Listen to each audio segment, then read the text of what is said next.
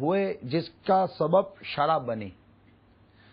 اب جب اس کا سبب شراب بنی تو پھر اس کی حرمت پر حکم قطعی نازل ہوا۔ اور وہ حکم سورہ معدہ کی آیت نمبر نوے میں ارشاد ہوا۔ ترجمہ کنزول ایمان اے ایمان والو، شراب اور جوا اور بوت اور پانچ سے ناپاکی ہیں۔ شیطانی کام، ان سے بچتے رہنا تاکہ تم فلاح پاؤ۔ پھر ارشاد ہوا۔ شیطان یہی چاہتا ہے کہ تم میں بیر اور دشمنی ڈلوا دے، شراب اور جوئے میں اور تمہیں اللہ کی یاد اور نماز سے روکے۔ تو کیا تم باز آئے؟ اب یہ ایک واضح ارشاد، اس کے حرمت کا، اس کے حرام قطعی ہونے کا نازل ہوا۔ سورہ معدہ کی آیت نمبر نوے میں، اور شراب، جوا بوت اور پانچ سے ناپاکی ہیں۔ شیطان، شیطانی کام۔ تو ان سے بچتے رہنا کہ تم فلا پاؤ۔ اور آخر میں فرمایا، کیا تم باز آئے؟ جب قرآن پاک کا یہ حکم نازل ہوا تو اس کے حرام ہونے کی دو اہم حکمتیں بیان کی گئیں۔ اول، اس سے عداوت اور دشمنی کی تخم ریزی ہوتی ہے۔ شراب سے عداوت پیدا ہوتی ہے، شراب سے دشمنیاں جنم لیتی ہیں۔ اور دوسری وجہ یہ بیان ہوئی کہ انسان نماز اور یاد الہی سے غافل ہو جاتا ہے۔ سورہ معدہ کی آیت نمبر نوے جب نازل ہوئی تو رحمت عالم صلی اللہ تعالی علیہ وسلم نے اپنے خادم کو حکم دیا کہ مدینے کی گلی کوچوں میں پھر کر بلند آواز سے اس آیت کا اعلان کر دو۔ جو ہی کان میں حل ان تم منتہون کیا تم باز آئے؟ کیا تم رکے؟ کی آواز پہنچی، ہاتھوں پر رکھے ہوئے پیالے، زمین پہ پٹھک دیے گئے، ہونٹوں سے لگے ہوئے جام خود بخود الگ کر دیے گئے، مشکوں اور مٹکوں میں بھری ہوئی شراب انڈیل دی گئی۔ وہ چیز جو انہیں بے حد عزیز تھی، اب گندے پانی کی طرح گلیوں میں بہ رہی تھی۔ اور حیرت کی بات یہ ہے کہ اس کے بعد کسی نے اس کے پینے کی خواہش کا اظہار بھی نہیں کیا۔ آپ دیکھیے کس قدر حکمت عملی کے ساتھ شراب کی حرمت کا حکم نازل ہوا۔ سب سے پہلے اس کے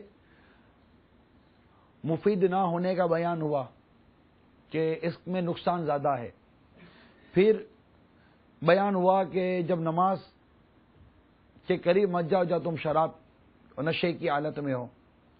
تو وہ پورا دن شراب سے رک جانے کا ایک حکمت طے ہوئی کہ وہ رکے رہے۔ اس کے بعد پھر چند ایک ایسے نہ خوشگوار واقعات ہوئے۔ تو اب وہ ایک ذہنی طور پر، ایک فزیکلی طور پر شراب سے رکنے، شراب سے باز آنے، شراب سے بچنے کا ذہن بن چکا تھا۔ ایک ایسی قوت میں پیدا ہو چکی تھی جس سے وہ شراب سے رک جاتے تھے۔ اور جب یہ حکم نازل ہوا اور فہل ان تم منتہون کا جب انہوں نے اعلان سنا، تو میرے آقا صلی اللہ تعالی وسلم کی تربیت اللہ عز و اللہ کے حکم کی بجا آوری کا یہ ایک انقلابی مظاہرہ سامنے آیا کہ وہ شراب جو انہیں بے حد پیاری تھی، گندی نالیوں کی طرح گلیوں میں بہ رہی تھی۔ اور ان کا پہ شراب کی طرف ان کی رغبت ہی جیسے ختم ہو گئی۔ تاریخ اسلام کا یہ ایک ایسا واقعہ ہے۔ اور ایک ایسی مثال ہے کہ اسی مثال دنیا میں کوئی اس کو پروف نہیں کر سکتا، کوئی ثابت نہیں کر سکتا۔ غیر مسلم محققین کے مطابق بدن انسانی ابتدان شراب کی جو نقصانات ہوتے ہیں، ان کا مقابلہ کر لیتا ہے۔ اور شرابی کو خوشگوار کیفیت بھی مل جاتی ہے۔ شراب کا جو سب سے زیادہ اثر ہوتا ہے، شراب کے جو مضر اثرات ہیں، یہ سب سے پہلے یا سب سے زیادہ اگر میں کہوں تو وہ جگر پر افیکٹ کرتے ہیں۔ کلیجی جی اس کو کہتے ہیں۔ جگر پر افیکٹ کرتے ہیں، جگر کو متاثر کرتے ہیں اور وہ سکرنے لگتی ہے۔ اس سے شراب کا جو پابند ہوتا ہے کثرت سے جو شراب پیتا ہے، دماغ کو یہ شراب متورم یعنی سوجن پیدا کر دیتی ہے۔ آساب میں سوزش، میدے میں سوجن، شراب سے ہڈیاں نرم ہو جاتی ہیں، کمزور ہو جاتی ہیں۔ جسم کے وٹامن بالخصوص بی اور سی، یہ شراب سے بے حد متاثر ہوتے ہیں۔ اور اگر شراب کے ساتھ اگر سگریٹ نوشی کا آدھی ہے تو تو اب اس کی کباہتیں اور اس کے نقصان اتنے بڑھ جاتے ہیں، اتنے بڑھ جاتے ہیں کہ مت پوچھے بات۔ کیونکہ اس سے جو مزید نقصانات بڑھتے ہیں، اس میں ہائی بلڈ پریشر شامل ہے۔ اسٹروک اور ہارٹ اٹیک کا شدید خطرہ رہتا ہے۔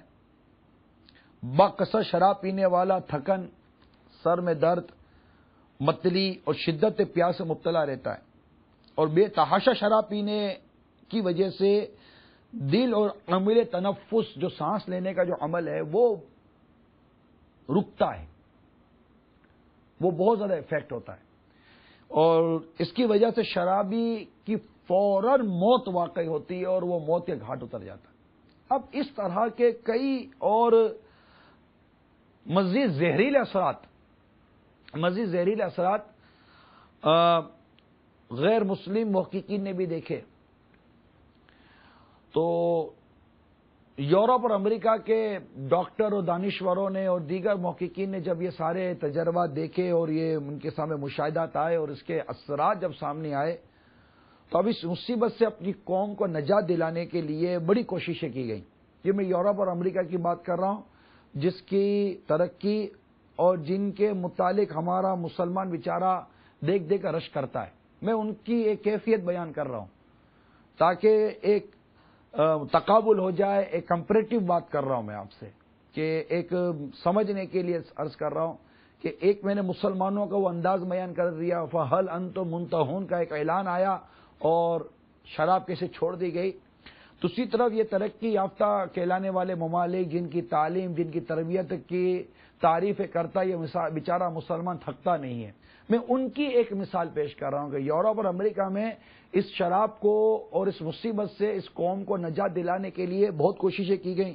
یہاں تک کہ امریکی حکومت نے پورے چودہ برس فورٹین ایئرس پورے چودہ برس شراب کے خلاف پورے زور و شور سے جنگ کی۔ پورے زور و شور سے جنگ کی۔ اور اس کے لیے نشر و اشاعت پروپوگینڈا ذرائع ابلاغ کا کوئی راستہ چھوڑا نہیں گیا۔ رسائل کے ذریعے، لٹریچر کے ذریعے، لیکچر کے ذریعے، تصاویر کے ذریعے، فلموں کے ذریعے جدید ترین اور کبھی ترین وسائل اختیار کیے گئے۔ یہاں تک کہ پوری کوشش کی گئی کسی صورت شراب سے اس قوم کو نفرت پیدا ہو اور یہ چھوڑنے کے لیے تیار ہو جائے۔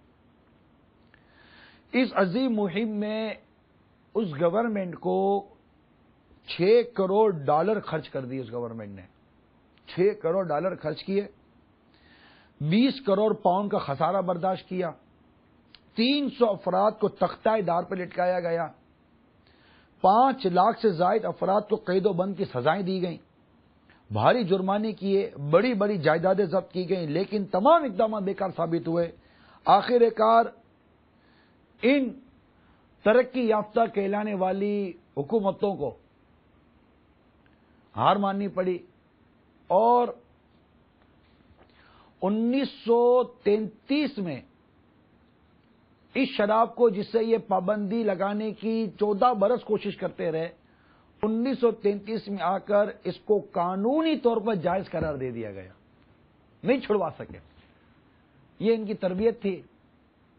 یہ ان کی صلاحیت تھی، یہ ان کی تعلیم تھی، یہ ان کی عادات تھی، یہ ان کی اتوار تھی۔ اور دوسری طرف، اس دور کی بات یاد دلا رہا ہوں کہ جہاں شراب ان کی گٹیوں میں شامل تھی، لیکن تربیت مصطفیٰ صلی اللہ تعالی علیہ وسلم اسلام کا حسن اور اللہ تبارک و تعالیٰ کے حکم کی بجا آوری کا ایک جذبہ، یہ نظر آیا کہ فہل ان تو منتہون سورہ معدہ کی جب آیت کا یہ حصہ جب ان کے کانوں میں پہنچا، شراب کے مٹکے توڑ دیے گئے، مشکی سے بہا دیے گئے، شراب گندی نالیوں میں پھینک دی گئی۔ اور پھر اس طرح انہوں نے التفات نہیں کیا۔ تو میرے میٹھے میٹھے اور پیارے پیارے اسلامی بھائیوں اور مدنی چینل کے ناظرین، ابھی یہ میں نے شراب سے متعلق جو حکم قرآنی